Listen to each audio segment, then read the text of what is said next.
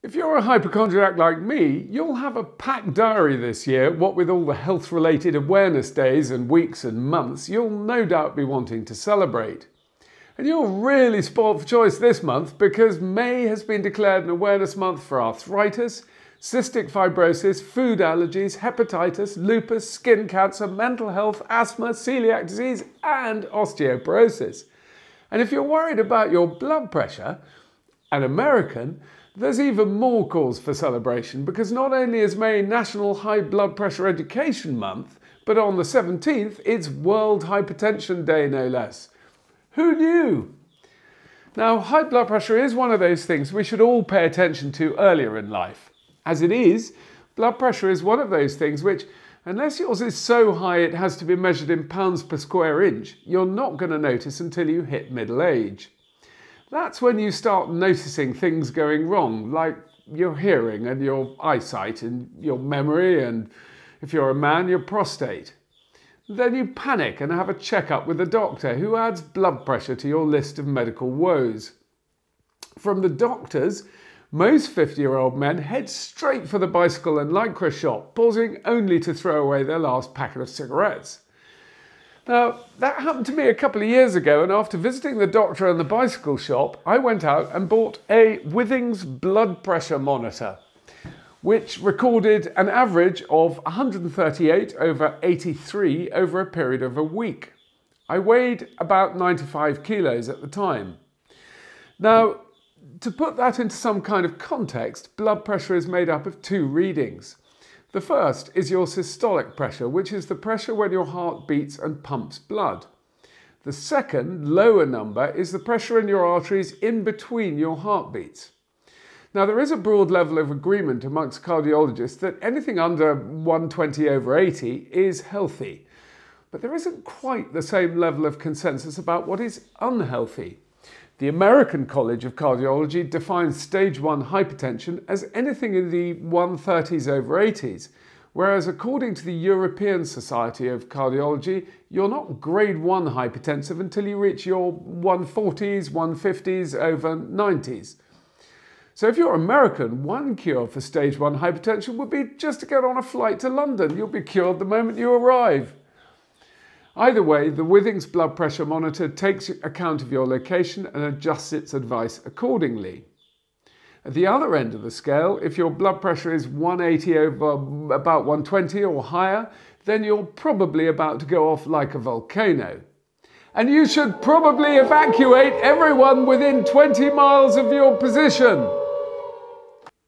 Whilst my own reading of 138 over 83 was not exactly what you would call volcanic, it was definitely heading in the wrong direction. So I started taking a lot more exercise, at least an hour a day, walking, cycling, or swimming. A few months later, and that hadn't made much difference to my blood pressure, so earlier this year I started on a diet to lose 15 kilos in 8 weeks. It's now about 12 weeks later, and so far I've only managed to lose about 6. Still, a few weeks ago, Withings uh, sent me the latest version of its blood pressure monitor, the BPM Connect, to try out. So now seems like a good time to see whether that level of weight loss has made any difference. Not to mention all the extra exercise I've been taking. So first things first, the new monitor has some big improvements over the old one. Like Withings' smart watches and scales, the blood pressure monitor syncs with the company's HealthMate app on your phone, so you can keep a track of how the readings change over time. Now the new monitor syncs the data with the app via Wi-Fi as well as Bluetooth, and because of that, and because there's a new digital readout on the side of the unit itself, you don't need to have your phone nearby to take a reading anymore.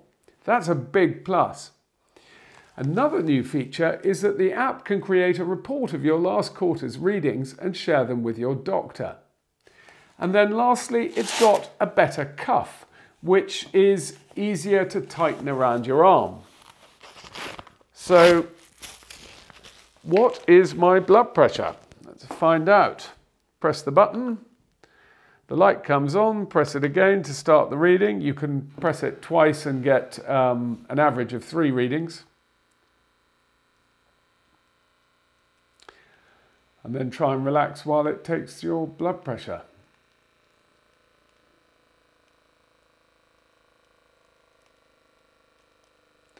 I'm not sure this really makes for the most compelling viewing, but bear with me.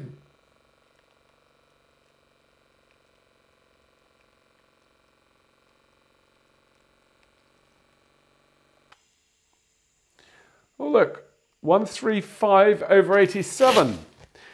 That's not too bad, but it's still uh, a little way off being in the properly healthy range.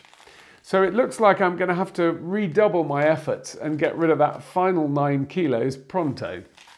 And if that doesn't work, I may have to change my whole work-life balance from the current 10 hours at my desk with one hour's exercise to something more like the reverse of that.